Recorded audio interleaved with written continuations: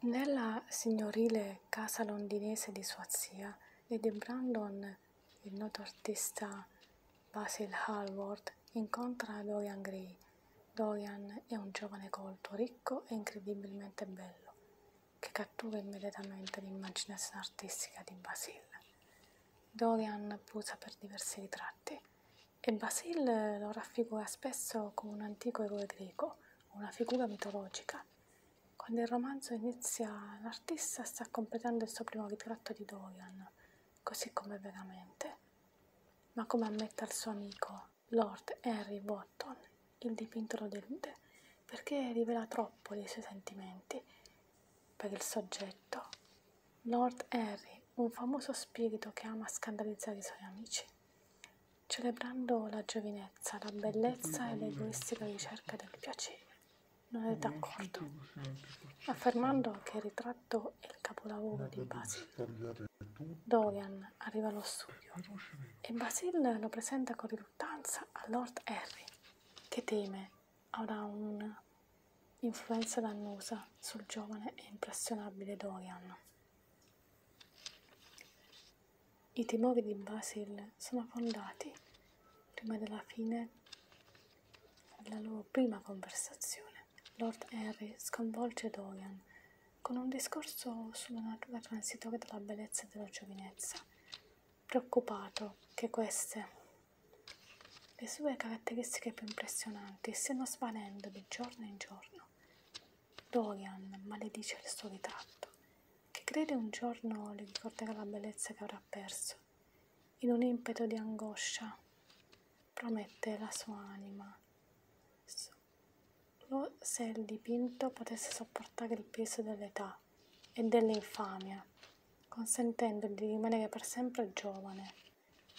Dopo gli sfoghi di Dorian, Lord Harry riafferma il suo desiderio di possedere il ritratto, tuttavia Basil insiste che il ritratto appartiene a Dorian. Nelle settimane successive L'influenza di Lord Henry su Dorian si rafforza. Il giovane diventa un discepolo del nuovo edonismo e propone di vivere una vita dedicata alla ricerca del piacere. Si innamora di Sibyl Vane, una giovane attrice che si esibisce in un teatro nei bassi fondi di Londra. Adora la sua recitazione lei a sua volta si riferisce a lui come il principe azzurro e si rifiuta di dare ascolto agli avvertimenti di suo fratello, James Vane, che Dorian non è buono per lei. Sopraffatta dalle sue emozioni per Dorian, Sibyl decide che non può più recitare, chiedendosi come può fingere di amare sul palco, ora che ha sperimentato la cosa reale. Dorian chiama Sibyl per la sua capacità recitativa, rompe crudelmente il suo fidanzamento con lei. Dopo averlo fatto, torna a casa e nota che il suo viso nel ritratto di Basil è cambiato. Ora sogghigna, spaventato che il suo desiderio, che la sua immagine nel dipinto, sopporti gli effetti negativi del suo comportamento, si sia avverato e che i suoi peccati vengano registrati sulla tela. Decide di fare ammenda con Sibyl il giorno dopo. Il pomeriggio seguente, tuttavia, Lord Henry porta la notizia che Sibyl si è uccisa. Su sollecitazione di Lord Henry, Dorian decise di considerare la sua mancanza una sorta di trionfo artistico. Lei personificava la tragedia di mettersi la questione alle spalle. Nel frattempo Dorian nasconde il suo ritratto in una remota stanza superiore della sua casa, dove nessun altro oltre a lui può osservarne la trasformazione. Lord Henry dà a Dorian un libro che descrive le malvagie imprese di un francese del XIX secolo. Diventa la Bibbia di Dorian mentre sprofonda sempre più in una vita di peccato e corruzione. Vive una vita dedicata a raccogliere nuove esperienze e sensazioni senza riguardo per gli standard convenzionali di moralità o per le conseguenze delle sue azioni. Passano 18 anni.